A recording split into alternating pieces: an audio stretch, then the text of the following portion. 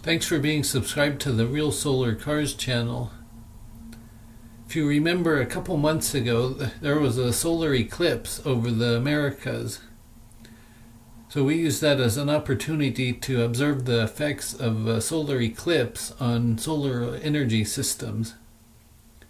If you've looked at our project on hackaday.io, you may have noticed that the data logger software we use is able to record data at one minute samples. So here is a table of that data and we will compare it to the times that the eclipse was happening. So here we can see during the maximum part of the eclipse the energy coming from our solar charge controller was about 14 watts. Let's look at a uh, plot of this data for easier analysis. So our solar charge controller has two outputs, uh, one for the high voltage traction battery and one for the low voltage 12 volt battery, the same as present in most all vehicles.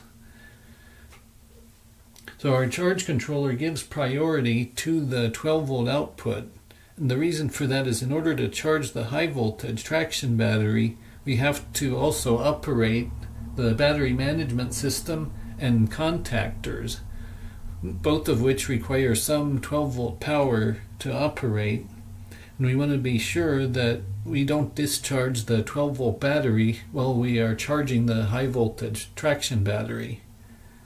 So here, before the point of maximum eclipse, we can see that the incoming solar energy is falling rapidly and then levels off at 14 watts and then increases rapidly as the eclipse is concluding.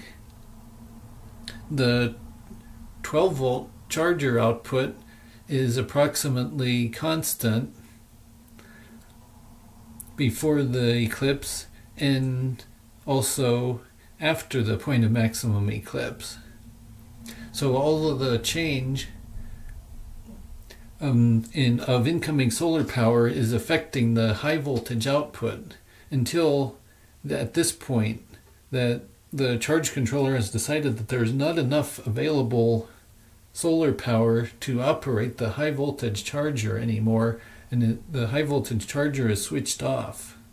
And then the 12 volt output continues to decline because there's no longer enough incoming solar power for the 12 volt output to maintain a 13.8 volt regulation. And that is one of the ways that the, our charge controller determines whether there is enough incoming solar power to operate the high voltage charger.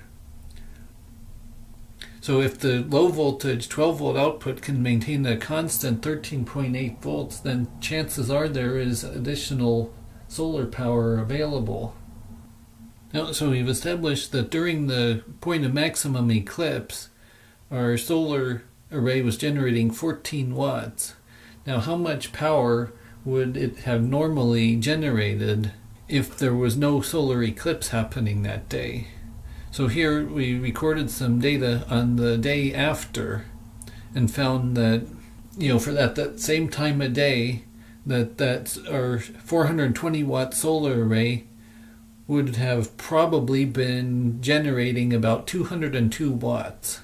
So here we can calculate that that is a 93% reduction in available solar power due to the effects of the solar eclipse.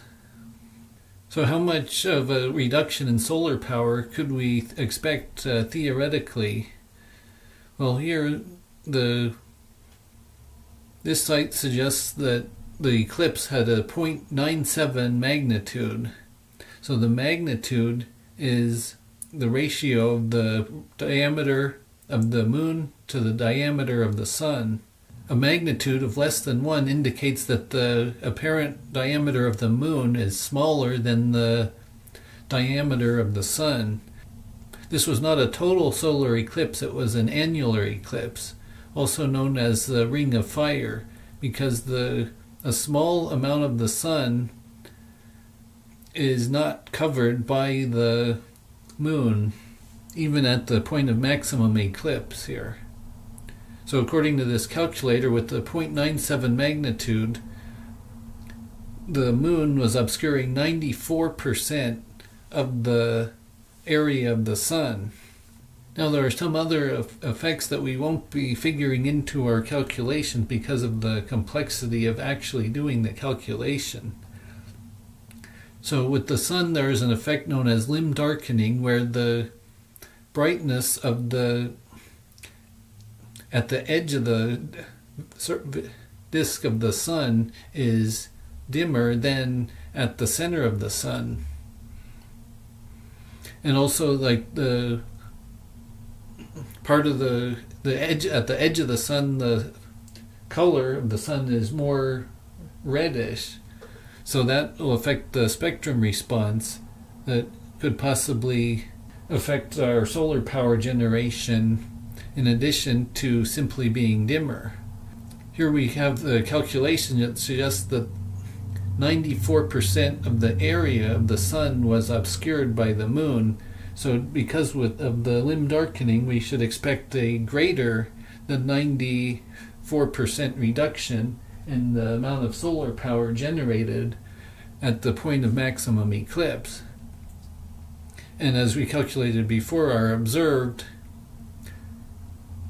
power loss was 93%. But then if we look on here, but of course this was not a fully controlled experiment because we can't measure the solar power generated on the same day in the same weather conditions with and without a solar eclipse. You know, it just can't be done. So we were using the day after the eclipse as our reference data for how much power would have been generated at, at that time of day.